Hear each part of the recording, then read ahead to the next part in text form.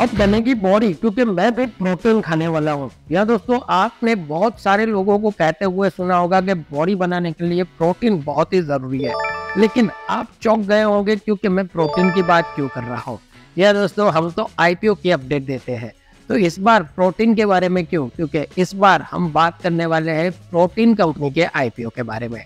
या दोस्तों, इस वीडियो में बात करने वाले हैं मुक्का प्रोटीन लिमिटेड कंपनी के आईपीओ के बारे में, जो कि बहुत जल्द ओपन होने वाला है और इसमें इन्वेस्ट करके आप भी आपकी वेल्थ क्रिएट कर पाओगे। यहाँ दोस्तों, क्या है ये आईपीओ? क्या है इसकी डिटेल्स? सब कुछ जानेंगे इस एक ही वीडियो के अंदर तो वीडियो एंड तक ज़रूर देखना। So hey guys welcome back with another video of the IPO और जैसा कि मैंने आपको बताया, इस वीडियो में हम बात करने वाले हैं मोक्का प्रोटीन्स के आईपीओ के बारे में, जिसमें हम जानेंगे इस कंपनी की डिटेल इसकी फाइनेंशियल डिटेल इसकी आईपीओ की डिटेल्स क्या है इसका ग्रे मार्केट में डिमांड क्या इस आईपीओ में इन्वेस्ट करके आपके वेल्थ क्रिएट हो पाए, ये सब कुछ जानेंगे इस एक ही वीडियो में। तो बिना वक्त गवाए स्टार्ट करते हैं इस आईपीओ का डिटेल एनालिसिस तो दोस्तों, मुक्का प्रोटीन लिमिटेड का आईपीओ जो है वो 29 फरवरी से ओपन होगा। वही 4 मार्च तक आप इसमें इन्वेस्ट कर पाओगे। इसका साइज़ जो है वो 224 करोड़ रुपए का तय किया गया है और इसमें 8 करोड़ से भी ज़्यादा इक्विटी शेयर इश्यू किए गए हैं। इसकी फेस वैल्यू जो है वो एक रुपए पर इक्विटी शेयर तय की गई है और इसका प्राइस बैंड छब्बीस से लेकर अट्ठाईस रुपए तय किया गया है। Return quota thirty five percent के लिए इसमें फिफ्टी परसेंट और एनआईआई के लिए पंद्रह परसेंट रिज़र्व रखा गया है। दोस्तों वैन बोर्ड सेगमेंट का ये आईपीओ होने वाला है। इसमें लॉट साइज़ पाँच सौ पैंतीस शेयरों की तय की गई है। एज ए इन्वेस्टर आपको इसमें चौदह रुपये इन्वेस्ट करने पड़ेंगे। इसके अलॉटमेंट और लिस्टिंग की अगर मैं बात करूँ तो पाँच मार्च को आपको इसका अलॉटमेंट मिल सकता है। अब दोस्तों, नज़र डालते हैं इस आईपीओ की वैल्यूएशन पर। तो इसका अर्निंग पर शेयर है, वो एक पॉइंट दस पर इक्विटी शेयर है। इसकी रिटर्न ऑन नेट पर जो है, वो सत्ताईस है। और इसका नेट एसेट वैल्यू यानी एन जो है वो 3.97 पर इक्विटी शेयर तय की गई है। दोस्तों, इसके फाइनेंशियल रिपोर्ट्स पर अगर हम नज़र डालें तो फाइनेंशियल ईयर 2021 में कंपनी का रेवेन्यू छह सौ नौ पॉइंट पंचानवे करोड़ रुपए पर पहुँच गया था और इसका प्रॉफिट जो है वो ग्यारह पॉइंट ज़ीरो एक करोड़ रुपए था। फाइनेंशियल ईयर 2022 में कंपनी का रेवेन्यू सात करोड़ रुपए पर पहुँच गया और इसका प्रॉफिट पच्चीस पॉइंट एटी टू करोड़ रुपए पर पहुँच गया। फाइनेंशियल ईयर 2023 में कंपनी का रेवेन्यू एक हज़ार एक सौ तिरासी पॉइंट अस्सी करोड़ रुपए पर पहुँच गया, वही ये कंपनी जो है, वो 47.53 करोड़ रुपए पर प्रॉफिट पर पहुँच गई। फाइनेंशियल ईयर 2023 के छह महीनों का रिपोर्ट अगर हम देखें तो इसका रेवेन्यू छह सौ बारह पॉइंट एटी एट करोड़ रुपए पर पहुँच गया और इसका प्रॉफिट बत्तीस पॉइंट अट्ठानवे करोड़ रुपए पर पहुँच गया। इसके प्रमोटर्स की अगर मैं बात करूँ तो कलंदन मोहम्मद, हैरिस कलंदन मोहम्मद, आरिफ और कलंदन मोहम्मद अल्ताफ जो है, इसके प्रमोटर्स हैं।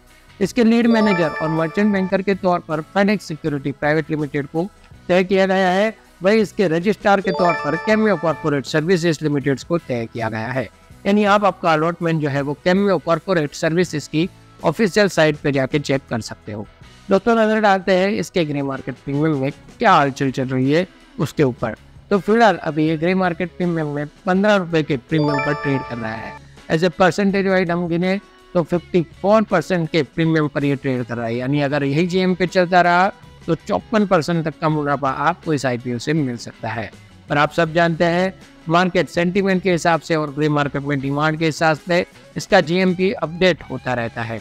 हो सकता है जिस दिन आप हमारा वीडियो देख रहे हो, उस दिन भी इसका ग्रे मार्केट प्रीमियम कुछ और ही हो। लेकिन वो डे बाई डे अगर आपको चेक करना है तो उसकी लिंक हमने आपको डिस्क्रिप्शन बॉक्स में दे दी है। यानी वहाँ पे जाके आप इस कंपनी का latest GMP day by day check कर सकते हो। दोस्तों, कोई भी कंपनी में अगर आप इन्वेस्ट करते हो तो उस कंपनी की प्रोफ़ाइल यानी डिटेल जानना भी आपके लिए बेहद ज़रूरी है। आइए नज़र डालते हैं इस कंपनी की डिटेल्स पर। तो मार्च 2003 में निर्मित Mukka proteins limited fish protein products manufacturer करती है। Company fish meal fish oil and fish soluble paste का उत्पादन और सप्लाई भी करती है। Company Bahrain Bangladesh Chile Indonesia Malaysia Myanmar Philippines China Saudi Arabian South Korea Oman Taiwan and Vietnam सहित 10 से भी अधिक देशों में अपना उत्पादन एक्सपोर्ट करती है। यानी कि कह सकते हैं कि ये कंपनी जो है, वो इंटरनेशनल लेवल पे भी वर्क कर रही है। यानी कंपनी बहुत ही बढ़िया है। उसका फाइनेंशियल रिपोर्ट भी काफ़ी बढ़िया है। कंपनी वर्तमान में छह उत्पादन सुविधाएँ संचालित करती है। जिनमें चार भारत में और दो ओमान में है, जो इसकी विदेशी सहायक company ocean aquatic protein LLC के पास है। इसके अलावा कंपनी थ्री ब्लेंडिंग प्लांट्स और फाइव स्टोरेज फैसिलिटीज़ संचालित करती है, जो सभी भारत में स्थित है। यानी ये कंपनी यूनिक बिज़नेस मॉडल पर वॉक कर रही है। फाइनेंशियल रिपोर्ट काफ़ी स्ट्रॉन्ग है इंटरनेशनल लेवल पर ये कंपनी कर रही है काम, और इसका मेन बोर्ड सेगमेंट में आईपीओ आने जा रहा है। दोस्तों, इससे अंदाज़ा आ ही गया होगा कि आईपीओ में आपको अप्लाई ज़रूर करना चाहिए। वाइट भी आपके लिए फ़ायदे का सौदा साबित हो सकता है पर आपका ज़रिया हमेशा लॉन्ग टर्म रखना। जितने लॉन्ग टर्म के लिए आप इन्वेस्ट करोगे, उतनी ही बढ़िया वेल्थ आपके भी क्रिएट हो पाएगी। तो फ़िलहाल इस आईपीओ को लेके आप कितने एक्साइटेड हो कमेंट बॉक्स में ज़रूर बताना और ऐसे ही आईपीओ की अपडेट जानने के लिए अगर आप हमारे चैनल पर नए हो चैनल को सब्सक्राइब कर देना। साथ में लगा हुआ बेल आइकन भी दबा देना। तब ये आने वाले सभी वीडियो की नोटिफिकेशन आपको सबसे पहले मिलती रहे। तो फ़िलहाल दोस्तों, इस वीडियो में इतना ही। नेक्स्ट वीडियो में नेक्स्ट आईपीओ की अपडेट के साथ फिर से मिलेंगे। तब तक के लिए थैंक यू सो मच